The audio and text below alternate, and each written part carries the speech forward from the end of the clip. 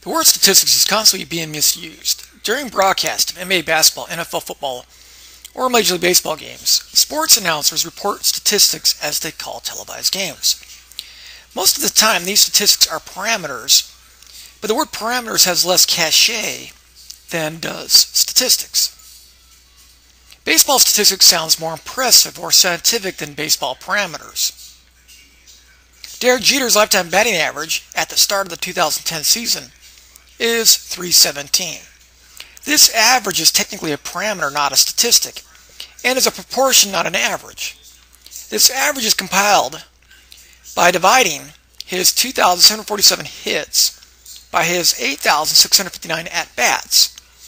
Hence, Jeter's lifetime batting average of 317 means 31.7% of his at bats result in a hit. Now, if I count his hits and at bats in 30 randomly chosen games he played in over his 15 year career with the New York Yankees, the ratio of these two would be a statistic called the sample proportion, and it'd be really, really, really close to his lifetime batting average of 317. Parameters are computed using data from the entire population. In most cases, computing parameters is not possible, feasible, or cost effective. Imagine how much it would cost to ask every voter in America every day if they were going to vote for then presidential candidate Barack Obama.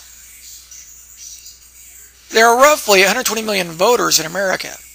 Asking 120 million voters every day the same question is infeasible. It requires millions of people to conduct daily surveys. The cost of such a survey would be in the millions or billions. Instead, polling companies like Gallup and Rasmussen sample roughly a thousand likely voters. Statistics are computations using data collected after sampling a population. If the sample is representative and random, a statistic like the sample mean or sample proportion will be close to the population mean or the population proportion, both of which are parameters. The difference in a parameter and a statistic should get smaller and smaller and smaller as the size of the sample gets bigger and bigger and bigger. Data are facts and figures collected, analyzed, and summarized for presentation and interpretation. Elements are the entities on which data are collected. For example, Dataram, Energy South, Keystone, Landcare, Psychemedics are the names of the elements in this data set. Elements could be states, names, patients' names, welfare recipients, case identification numbers, student identification numbers, etc. There are three variables in this particular data set, which includes the stock exchange in which the company's stock is being bought and sold, annual sales in millions of dollars, and earnings per share in dollars. The column of data below a variable represents a set of observations of that variable. The first column is not a variable. The row of data to the right of each element name is an observation. For example, the second row of information highlighted in yellow is the second observation of the data. Since it is in the second row of the data set, it can also be referred to as the Energy South observation. The data set is the information stock exchange company stock is traded on, annual company sales millions of dollars, and earnings per share of company stock that is collected on the companies being studied, the element names. A variable has nominal scale the data for this variable consists of labels or names used to identify an attribute of the element. Non-numeric labels or numeric codes can be used. For example, students at a university are classified as business, humanities, education, economics, mathematics majors, etc. These labels are non-numeric. Note the names or banner ID numbers of students in such a data set are the elements. A numeric code could be used instead. For example, the variable major could equal 1 if the student is a business major, or equal to 2 if the student is a humanities major, or equal to 3 if the student is an education major, and so on. A variable has ordinal scale if the data exhibits the properties of nominal data and the order or rank of the data is meaningful. Non-numeric labels or numeric codes can be used. For example, students at universities can be classified by their class standing using non-numeric labels such as freshman, sophomore, junior, or senior. Or customers could be asked if the cleanliness of the restaurant was excellent, good, or poor.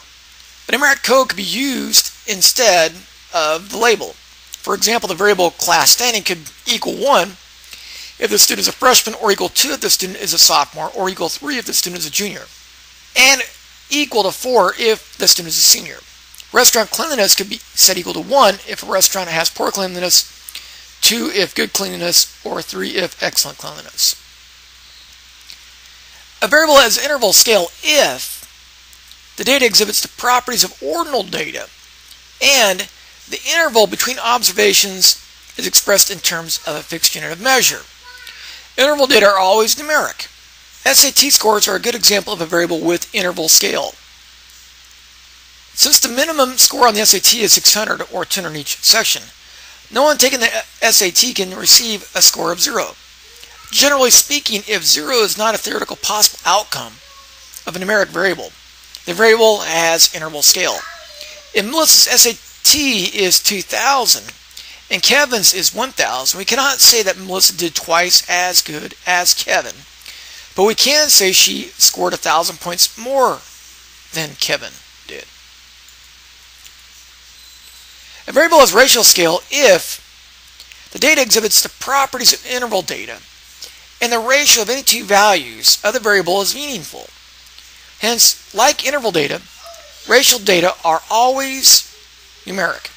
Examples include variables such as distance, height, weight, time, income, and number of kids per family. If zero is theoretically possible, the variable has ratio scale.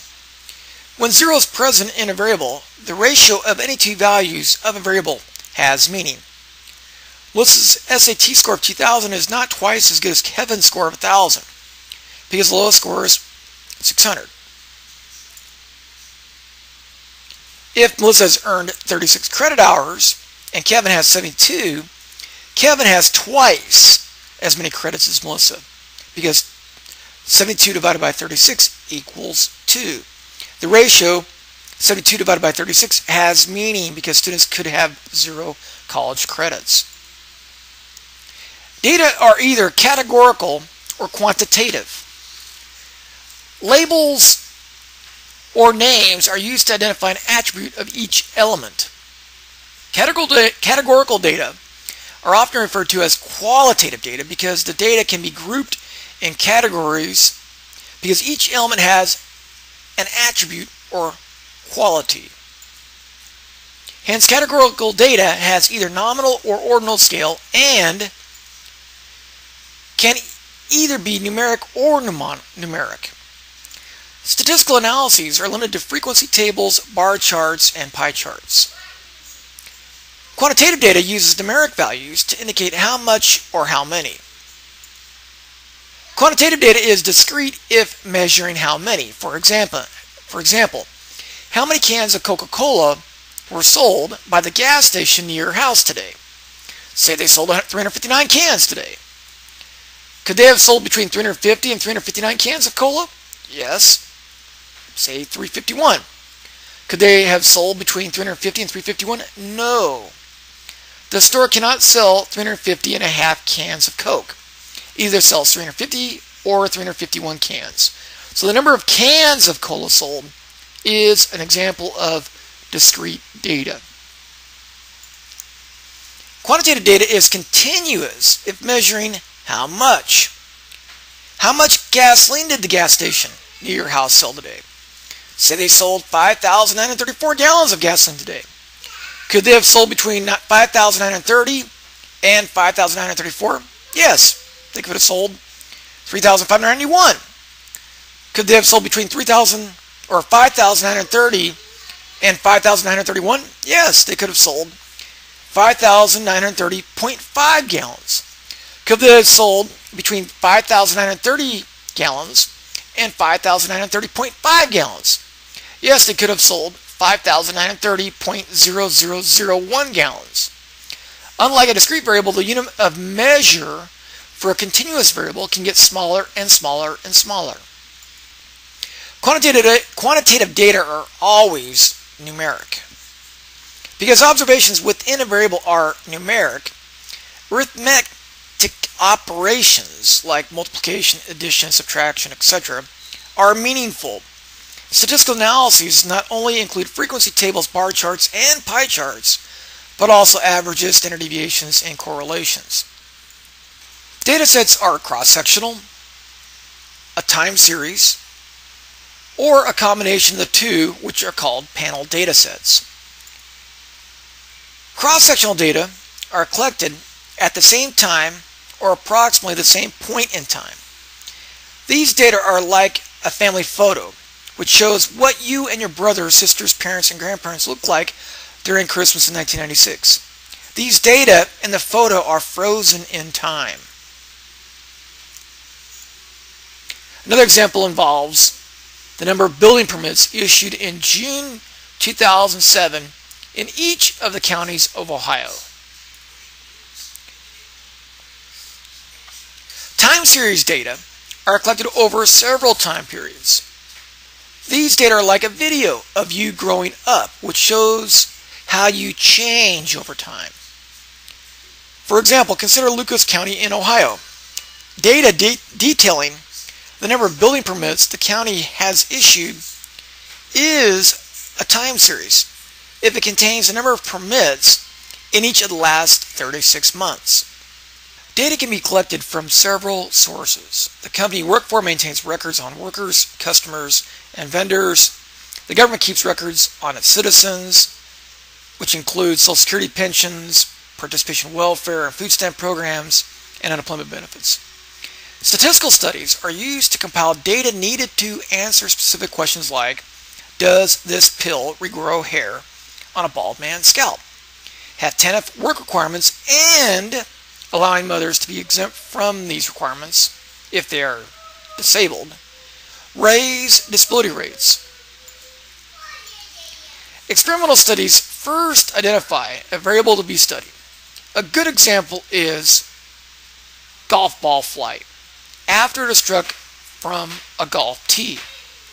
However, many variables like golfers' age, heights, weights, health, and years of playing golf and wind speed, temperature, course conditions, rain, type of golf ball used, and types of shoes worn affect distance. A golf ball manufacturer cannot claim their golf ball flies farther unless they do a statistical analysis, which compare the distances of their golf balls versus other golf balls. Such a study would be flawed if this experiment did not control for the variables listed above. Dumping the manufacturer's golf balls into a bucket with its competitor's golf balls, mixing them up, and then using a robot to hit balls at random means all the aforementioned variables are essentially canceled out. The average lengths of each manufacturer's golf balls can then be used to determine which ball flies further on average.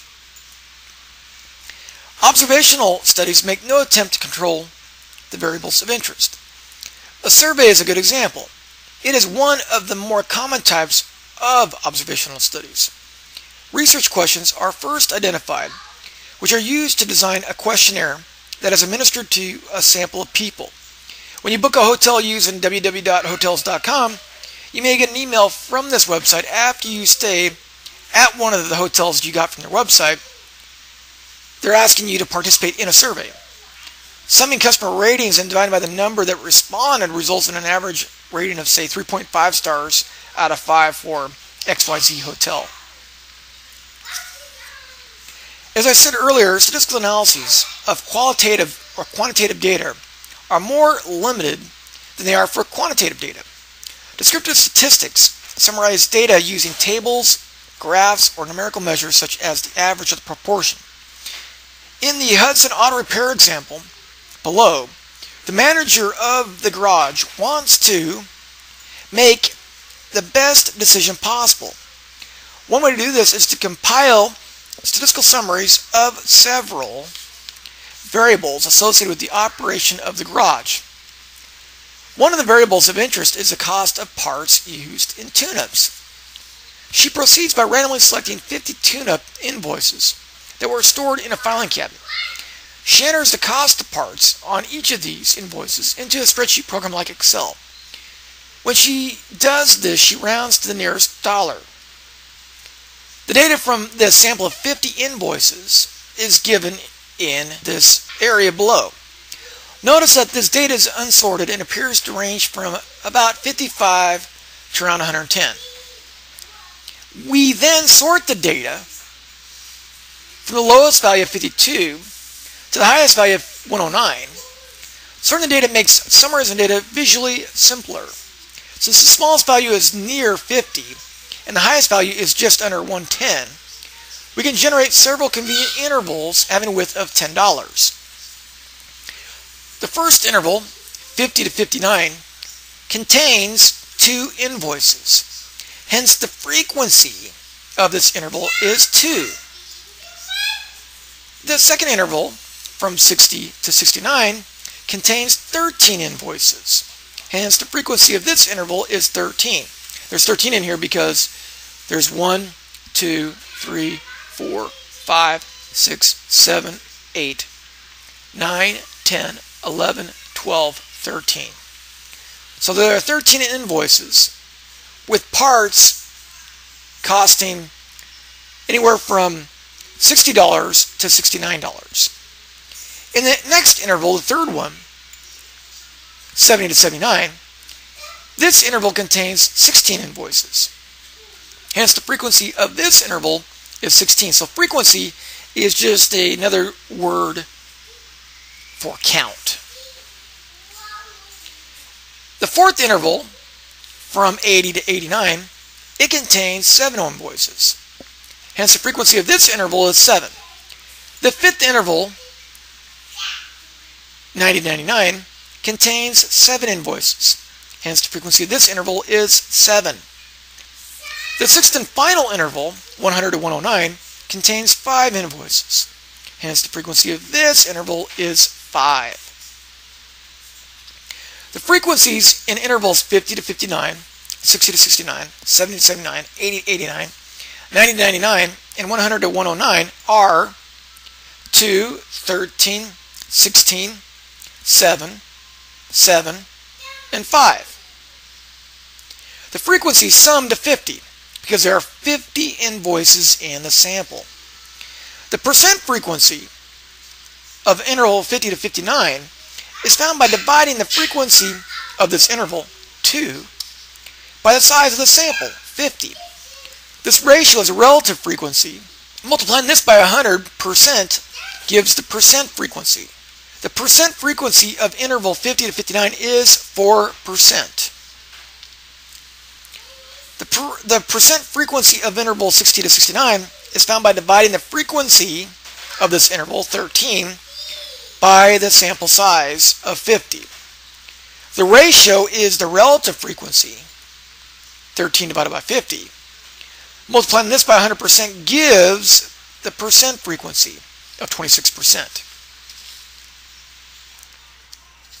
The percent frequency of interval 70 to 79 is found by dividing the frequency of this interval, 16, by the size of the sample, 50.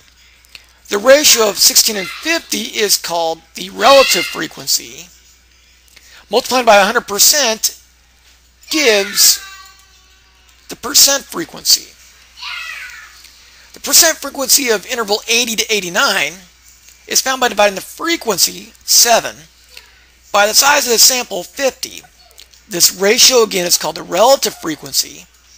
7 divided by 50 is the relative frequency. Multiplying by 100% gives the percent frequency, which is 14%. The percent frequency of interval 90-99 is found by dividing the frequency, 7, again by the sample size 50. Their ratio is the, the relative frequency. Multiplied by 100% gives the percent frequency of 14%. The percent frequency of interval 100 to 109 is found by dividing the frequency of this interval by 5. By, I mean, sorry, by 50. 50 divided by 50, or 5 divided by 50 times 100% is the percent frequency 10%. The sum of percent frequencies is 100. If these were relative frequencies, the sum would be 1. Histogram is a bar graph, but a bar graph is not necessarily a histogram. The bars of a histogram have no gaps between them, and their widths are equal to the width of the intervals used in the frequency table. If percent frequencies are used, the histogram is a percent frequency histogram. In the above diagram, below the label on the y-axis says frequency. So we're going to construct a frequency histogram. Since the frequency of interval 59 or 50 to 59 is 2, the bar corresponding to this interval stops at 2. Since the frequency of interval 60 to 69 is 13, the bar stops at 13. Since the frequency of interval 70 to 79 is 16, the bar in this interval stops at 16. Since the frequency of interval 80 to 89 is 7, the bar in this interval stops at 7. Since the frequency of 90 to 99 is 7, again the bar in this interval stops at 7. Since the frequency of 100 to 109 is 5, the bar in this interval stops at 5. The total area of the red bars is 50. If I add this area to that area, to that area, to that area, to that area, to that area, I'd get 50. If this were a percent fre frequency histogram, the red bars would have an area equal to 100%. If this were a relative frequency histogram, the red bars would have an area equal to 1. The histogram estimates the true distribution of tune-up parts cost. In most cases, we won't know the true distribution of this variable, or any variable. The area under the true distribution is equal to 1. For the same reason, the bars of a relative frequency histogram have an area equal to 1. The most common numerical descriptive statistic is the average, which we call the sample mean. It is found by summing up all 50 observations of tune-up parts cost. When we add them up, we get $3,949. Dividing this by the sample size of 50 gives an sample mean, or an average, equal to $78.98 per invoice. The sample mean estimates the population or true mean, which in most cases we won't know. The probability that the sample mean is exactly equal to the population mean is zero because the population mean is, in most cases, unknown an unknown value. The sample mean, on the other hand, could theoretically be one of infinite many numbers on the number line. Data for the population being studied includes all elements. For example, on election day, the proportion of voters voting for Obama will be known. The names of every voter are the elements. The number that voted for him divided by the number that voted is the population proportion voting for then Senator Obama. A sample is drawn from the population being studied because it is too costly to ask every voter who they are planning to vote for every day leading up to an election. New samples of around a thousand are selected each day or every other day. The number that say they are vote, going to vote for then Senator Obama, divided by the number that were in the sample is the sample proportion voting for then Senator Obama. These polls help candidates decide how to allocate campaign contributions optimally. For example, if polling data tells then Senator Obama that he has no chance of winning Idaho or Wyoming, Obama will spend very little money in these states. This allows him to spend more money in battleground states like Ohio. The sample statistic is used to make an inference about the population parameter it is estimating. This is called statistical inference, which is the process of using data obtained from a sample to make estimates and test hypotheses about the characteristics of the population. If a poll of likely voters is taken, and 53% say they are voting for Obama, then one could infer from this that Obama looks like he may win the upcoming election. Taking a census collects data on all members of a population. Variables included in the U.S. Census are number of children and income. The average of these variables are parameters because there are over 300 million Americans. A sample survey collects data on all members of a population that were selected for the survey. The Current Population Survey, or CPS, gathers information that is similar to what the census collects. However, the CPS is a monthly survey of about 60,000 households. The smaller size is manageable and less costly than a census. Average income computed from the CPS during a census year is a sample statistic, which is probably very, very close to the population mean computed from the actual census. In our Hudson Auto Repair example, the population consists of all tune-ups performed at the shop. From this, we could compute the population mean tune-ups parts cost. Instead of doing this, which is time-consuming and very costly, a sample of 50 invoices were pulled from the filing cabinet containing all tune-ups performed at the shop over its entire history.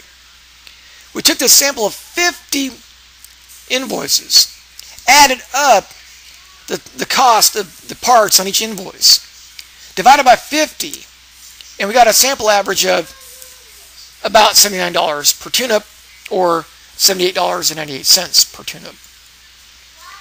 The sample average is an estimate of the population mean, which we don't know. And we won't be able to compute in most cases. But if the sample is large enough and representative and random, the sample mean should be pretty close, really, really close to the population mean.